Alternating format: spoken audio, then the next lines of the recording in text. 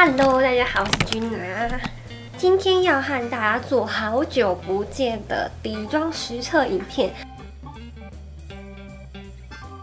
相信大家应该也蛮期待的。是 Dior 的这一。我超完美特务粉底液，那我这是第一次用迪奥家的粉底系列 c o l Forever 就会觉得它非常的不亲近干肌。好，那今天身为干肌代表的我本人呢，就来帮大家测试一下这一罐 Forever 系列的超完美特务粉底液。既遇到这种雾面妆效粉底液，最怕就是干到裂开，或者是。干到不贴，那油肌帮大家测试它的持妆度，干肌就来帮大家示范它的保湿还有妆效如何。那我们先从它的外表看一圈好了。它这个包装是塑料的包装，瓶子上面其实是可以看到每一罐粉底液的颜色的。然后它的重量很轻，里面是像这样子，这种软管挤压的方式。它非常好控制你自己想要的粉底量，我觉得这一点是真的做的很好，就不会浪费粉底液，想要用多少就用多少。其实我一刚开始拿到这个超完美特护粉底液的时候，我不是很喜欢它的外壳，我觉得它的外壳好像少了一点迪奥的那种气质感。但看久了，我现在看了一个多月吧，就会觉得还蛮顺眼的。那我手上呢，目前有三个色号，要把它们抹开来。让大家看更清楚一点。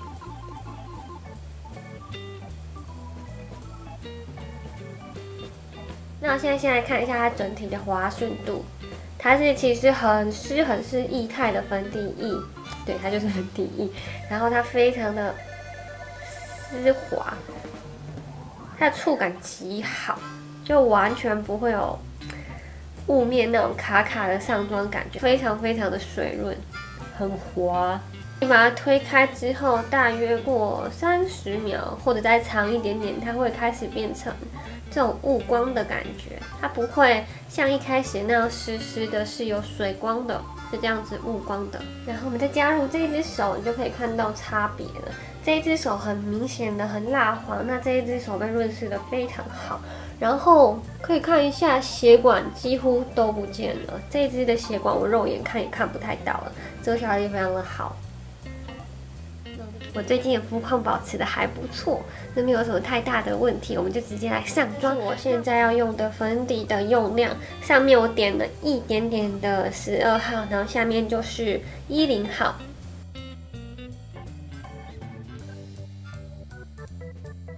这样子，哎，我本来是想要先妆前打底，妆前打底我最近都用这一罐，超级好用的。但来不及了，很保湿，很保湿，然后擦完之后你脸摸起来的触感会很好。我忘记了，没关系，那我们就直接测试这一罐粉底液的感觉。我要赶快推开，非常的好推，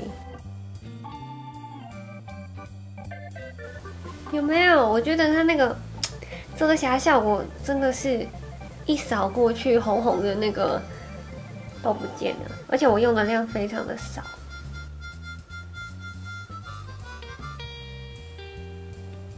先给大家看两边，两边非常明显就是暗沉的地方，这边直接就消失了。我觉得是真的有这么夸张，因为我擦超级薄的，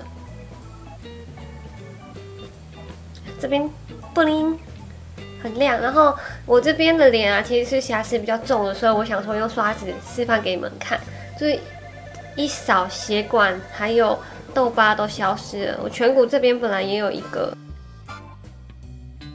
现在已经是干了，会呈现这种雾的光感。这边是保养品的光泽，然后这边就是现在上完粉底的光，非常的漂亮。接下来我另外一边用海绵，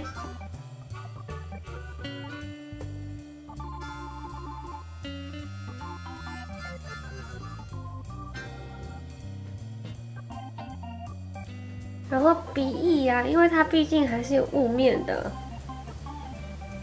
粉底，所以鼻翼的地方我会最后再上，然后薄薄的擦就好了。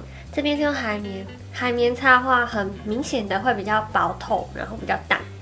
然后这边的话遮瑕感就会比较强。我觉得我用十二号稍微做一下提亮的动作，一层一层叠上来，增加它的遮瑕效果的。我觉得遮的非常非常的好，就这个真的很难遮，这个有点像斑吧。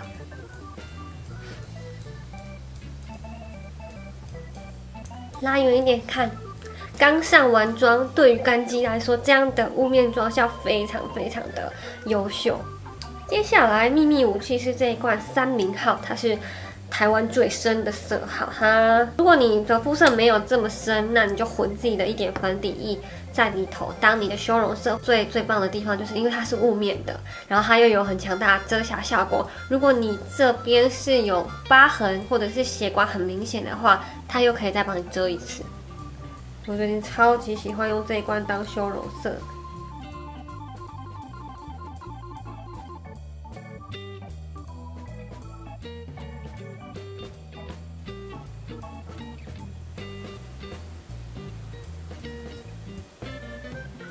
今天是除夕的前一天，所以今天。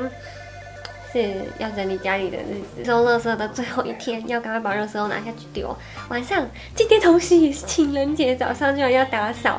那晚餐的话，我会去吃很辣的烤鱼。那我们就来看看今天的底妆会有什么样的变化吧。汇报一下，现刚刚太久没有拍底妆了，一直忘记给大家看时间。我刚上完妆的时候是两点左右，现在是三点五十一分。我觉得呢，呃，底妆的颜色啊，跟它在手上挤出来的颜色不太一样，所以大家如果去试的时候，可以先抹开，然后过个十分钟才会是它最最后最后的颜色。现在的底妆比一开始上完妆更服帖，我没有预料到它会这么有光泽。我我现在脸上只有擦了一点点腮红在这边，一点点而已，这边都没有擦任何的东西了。有没有？它是有光泽的耶。是雾光的感觉，妆效我觉得非常的服帖，太太太服帖了。然后看一下细节的地方，觉得整个粉底液都已经完全吃进去皮肤里面了。你看我们刚上两层的地方也都丝毫没有浮起来。现在的妆效我觉得比一开始还要漂亮，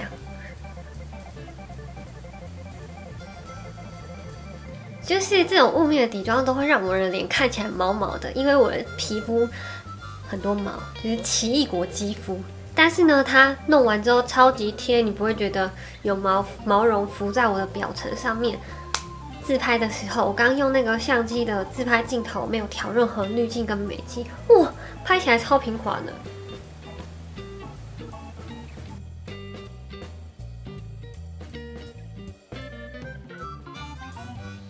嗨，现在的时间是晚上的九点钟。好，那赶紧来检查一下我的皮肤状况好了。我觉得颜色的话，其实镜头前面是看不太出来了。刚开始上完之后，呃，肤色会比较白，然后粉底雾化之后呢，会再暗一点。所以大家在选色号的时候，可以尽量选稍微明亮一点的颜色。先来看远看脸上会有的光泽感，额头额头一起给你们看哈。整体的光，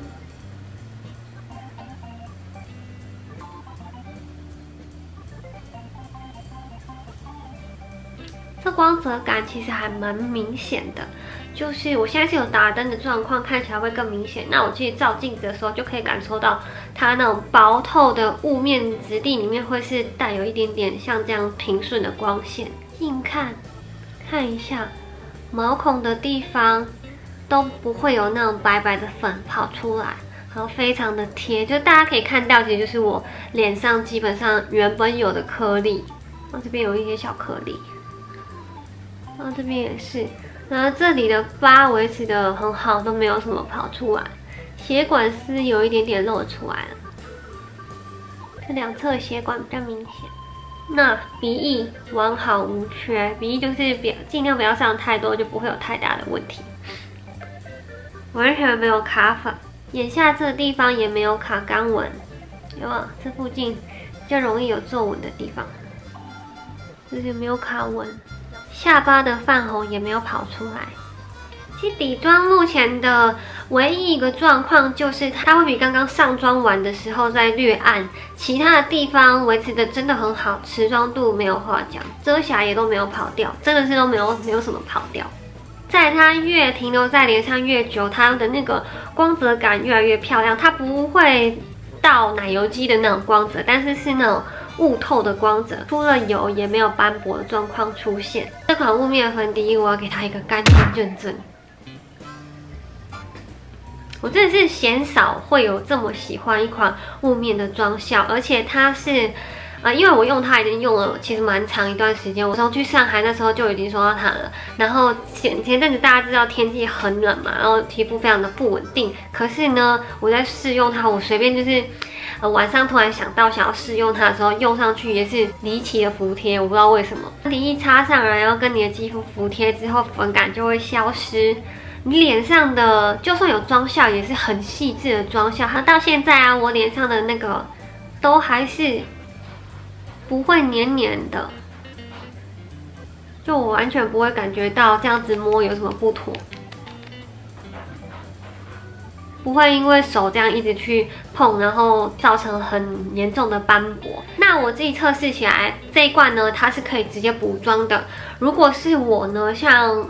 下午我觉得有点暗沉的时候，我是可以直接拿它的粉底液再次补妆。那补妆的时候，我通常会再混合一点保湿的妆前，或者是你现有手上有的保湿喷雾或者是保湿乳一起用。我现在就做一个补妆的示范给你们看，然后看那个皮肤啊会不会因为因为我们原本有上腮红啊，或者是你平常会上一点打亮，粉有时候遇到粉底液会。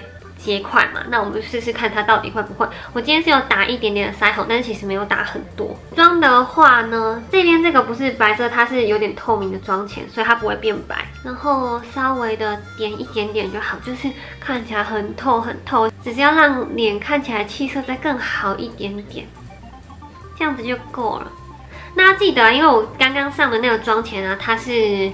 它其实是有点透明的啦，它不是白色，所以待会在上的时候它会更服帖肌肤。那你要用那个刷子把手上，或者你有海绵也可以，把手上的都先直接粘起来。那我们用拍打的方。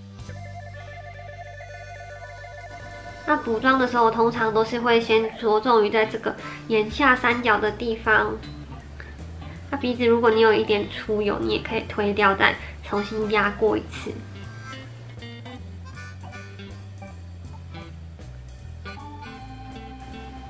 剩下来的啊，你再点压在其他的地方就可以了。补妆的时候，尽可能还是以薄透为主，比较不容易会失手。先看一下，这样这边就又提亮了。那如果你有局部出油，像是我刚刚这边比较亮，它也有稍微的减暗一点点，但还是有基本的光泽在，需要我们拉近一点，看它会不会结块是什么的。我直接把灯调暗给你们看好了。最主主要应该是很怕毛孔里面会卡一些干干的东西，对不对？但现在看是完全 OK 的。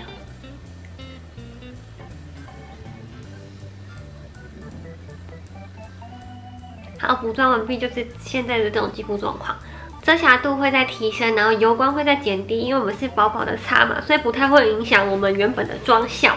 那腮红如果你觉得不见的话，可能就要另外再补了。如果你自己是有同一个系列的那个气垫粉饼，也是可以直接用气垫粉饼补。其他款式的粉底液我就没有再跟这一款粉底液做补妆的测试了。如果呢你的脸很容易干，然后你又不想要拍粉状的商品在脸上定妆的时候，这一款超完美特务粉底液，我自己个人本身是非常非常喜欢，而且非常推荐的。它真的是太服帖、太服帖皮肤了，遮瑕感非常足够，就算是薄擦，它也比一般的粉底液还要来得强。那如果你想要真的很无瑕肌肤，那你就多叠几层。呃，叠几层的时候，你就不要选太白太白的颜色，你就要选尽可能自然一点的颜色，这样叠起来才不会很厚。好啦，那迪奥的这一次超完美特务粉底液，我个人觉得是大大大大成功。我已经尽量有克制我浮夸想要想要赞叹它的那个语气跟语调了，希望你们有看出来我很压抑。那如果大家对这粉底液有兴趣的话，可以到全省的迪欧专柜去试妆看看，看有没有适合自己的颜色，还有你喜不喜欢这样的妆效。那嗯，好，就差不多这样了。希望大家喜欢今天的影片啦！如果你们喜欢今天的影片的话，不要忘记帮这影片按赞、留言、订阅、加分享。如果还想要持续追踪我的更多即时动态，Facebook、Instagram 和微博都欢迎大家加入哦。那我们就下次见啦，拜拜！